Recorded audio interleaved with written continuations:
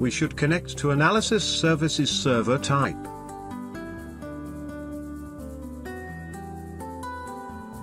In Object Explorer, right-click Database folder and select New Query and MDX. Select the cube. We can see the cube structure.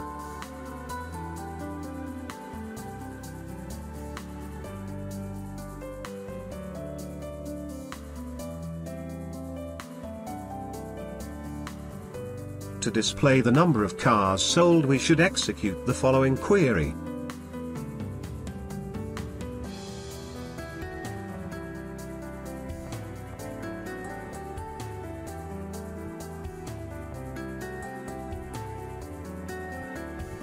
The select clause defines which dimension members to include on each axis of the report, and the from clause names the cube that is being queried.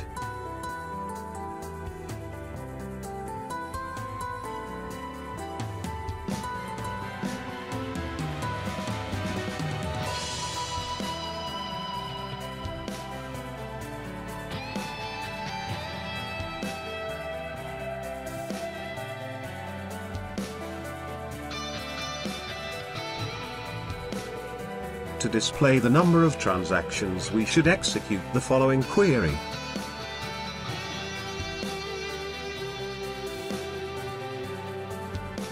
Instead of manually typing the names of measures and dimensions we can drag items from the metadata pane to the query pane.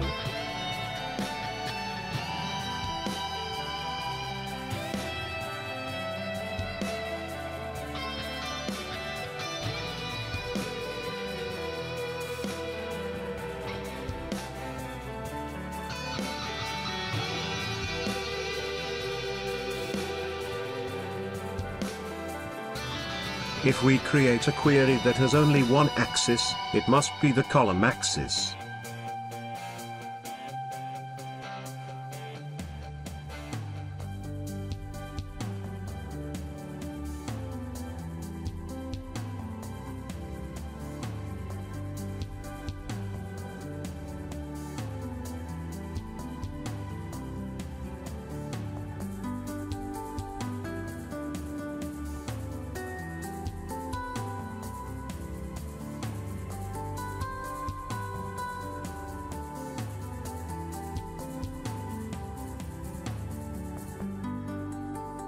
In this case, the total price for all categories is displayed.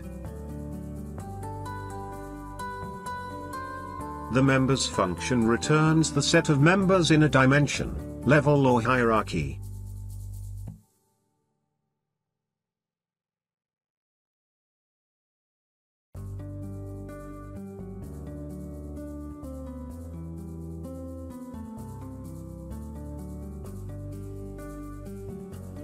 This query returns members of category level.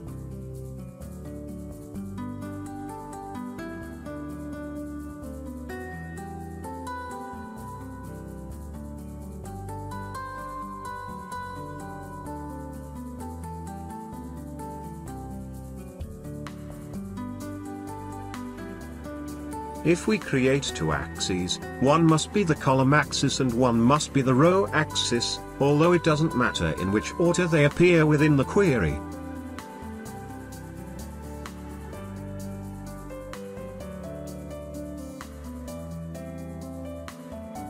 The square brackets around a particular object identifier are optional, as long as the object identifier is not one of reserved words, does not otherwise contain any characters other than letters, numbers or underscores.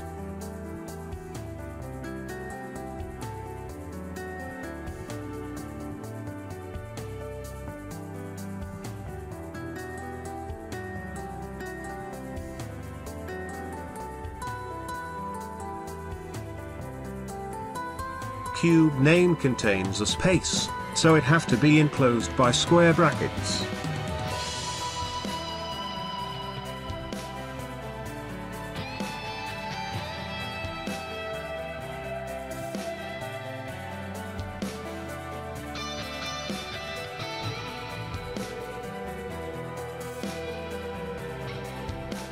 The terms columns and rows are simply aliases for the true names of the axes, axis 0 and axis 1 respectively. Technically, an MDX query can have up to 128 axes, with aliases for the first 5, columns, rows, pages, sections and chapters.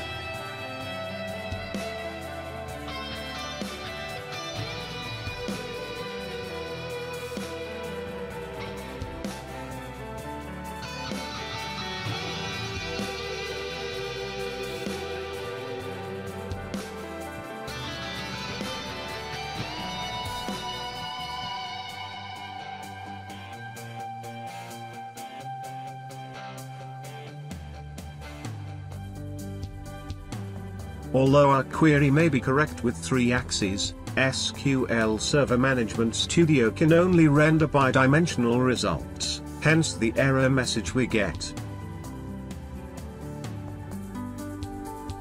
The viewing software can show tables, 2D results, but doesn't have a way to display 3D results.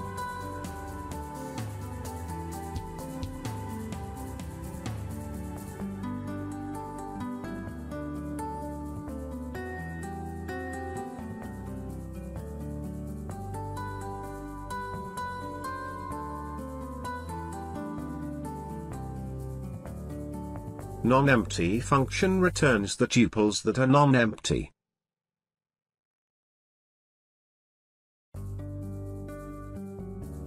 Now, in the result set there is no empty attribute named unknown.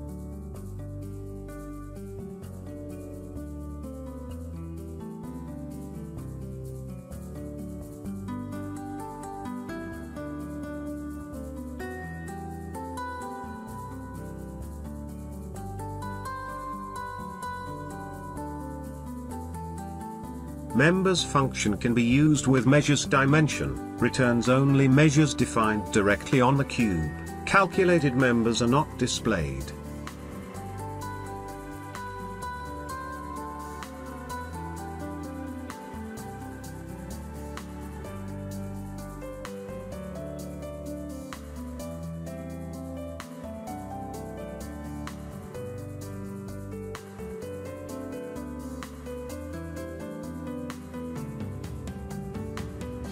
The add calculated members function returns all measures, even calculated members from the measures dimension, when the calculated members have not been explicitly specified in the query.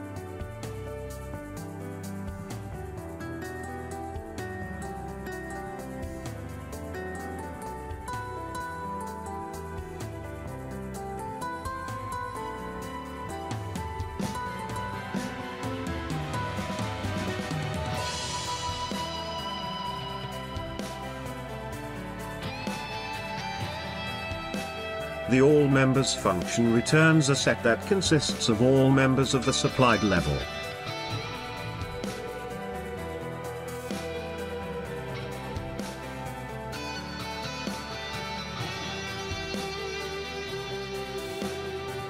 Do you want to learn new skills in the fastest and most effective way? Learn with videotutorials.com.